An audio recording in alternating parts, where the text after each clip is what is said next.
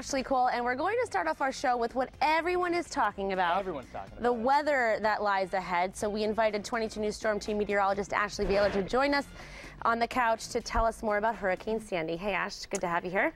Uh, busy. Busy. So, what can people expect? I mean, obviously, you don't want to be too scared that there's Yeah. not, that Halloween is going to get canceled again. But what can we expect? No, I'm certainly not telling you to go clean out the grocery store, and I'm not telling you to board up your house and repent your sins. I'm not going to do any of that stuff whatsoever. This is just a situation. It's at least five days out, and you know we're kind of giving you three different scenarios that are associated with this storm and what could happen. That's all it is right now. Is what could happen. There's no this is going to happen and this is what's going to be destroyed and stuff like that.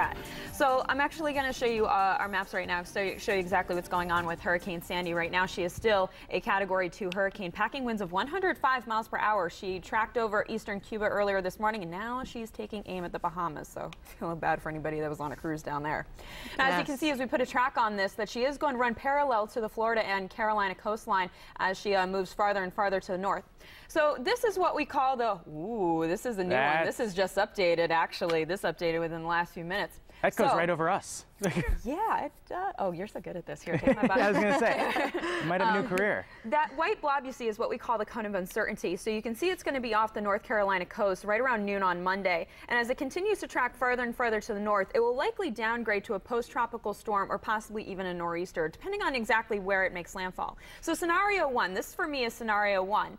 And basically what it'll do is take a turn right into Delmarva, New Jersey, kind of make landfall in there and track right into Pennsylvania, which would give us still some wind and rain. Worst case scenario is number two, which it'll do, it'll actually arc out and kind of dogleg left back into New England. So we'll take a direct hit, which will give us the heaviest rain, most rain, and also the strongest winds. That's where we could talk about structural damage, you know, inland and coastline flooding, beach erosion, stuff like that. Scenario number three, kind of the more unlikely one right now that'll jet back out to sea. So the culprit behind this one is the jet stream, and actually, um, if we can go back to the graphics, these are what we call the spaghetti models here. These are some of our computer models that say, okay, this is where we think it's going to go. And right now they're remaining pretty consistent that it's going to turn right Yeah. into our area. But no need for alarm.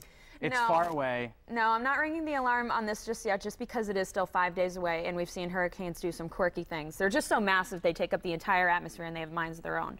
So it's one of those things you kind of you want your eye on it. You want to continue to track it every single day. You know, you hope for the best, prepare for the worst, sort of Right, thing. of when course. it comes to these. Of course. But one thing we can definitely expect is rain. It sounds like.